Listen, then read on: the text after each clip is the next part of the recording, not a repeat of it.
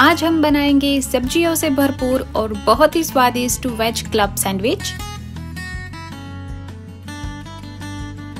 तो हम शुरुआत करते हैं सब्जियों को काटने से। तो इसके लिए हम लेंगे खीरा। यहाँ पे हम सारी सब्जियों को इस तरीके से स्लाइस में कट करेंगे।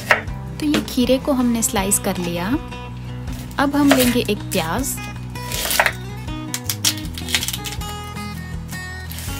प्याज को भी हम इसी तरह स्लाइस में कट करेंगे।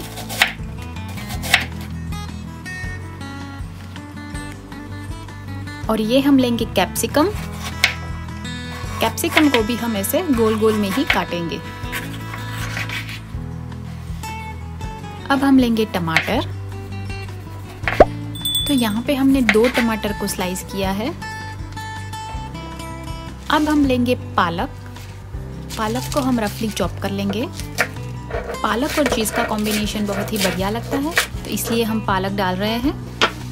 अब हम लेंगे एक बीट तो यहाँ पे हमने पका हुआ बीट लिया है। अगर आप चाहे तो आप कच्चा भी ले सकते हैं और या फिर उबाल कर भी ले सकते हैं।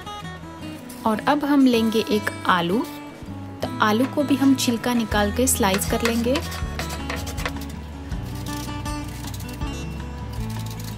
और क्योंकि ये कच्चा आलू है तो हम इसे गर्म पानी में डालेंगे और पाँच मिनट के लिए उबालेंगे। तो अब हम आलू को चेक कर लेंगे। तो ये अच्छे से पक गया है तो अब हम इसे निकाल लेंगे।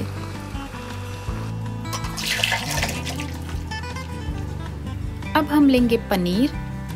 पनीर को भी हम ऐसे स्लाइस कर लेंगे।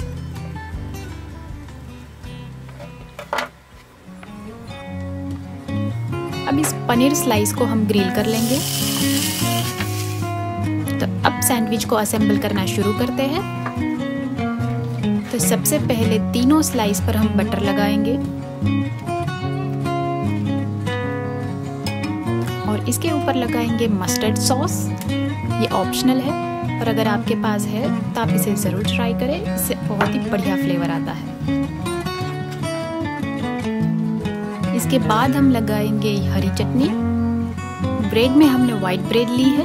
आप चाहें तो मल्टीग्रेन या फिर ब्राउन ब्रेड भी ले सकते हैं। ऊपर खीरे की स्लाइस रखेंगे और उसके बाद टमाटर की स्लाइस रखेंगे। और अब स्प्रिंकल करेंगे थोड़ा सा चाट मसाला।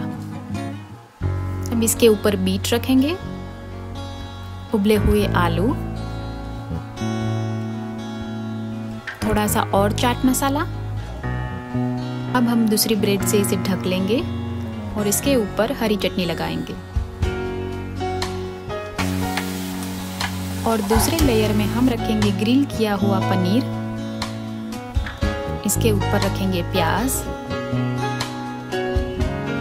कैप्सिकम थोड़ा सा चाट मसाला छिड़केंगे और पालक।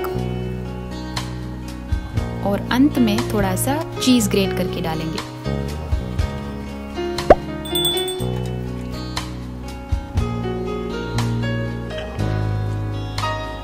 अब हम करेंगे इसे ग्रिल। ऊपर थोड़ा सा और बटर लगाएँगे और इसे अच्छा गोल्डन होने तक ग्रिल करेंगे। अगर आपके पास ग्रिलर नहीं है तो आप इसे नॉर्मल तवे पर भी गर्म कर सकते हैं। तो ये हमारी healthy and tasty veg club sandwich तैयार है।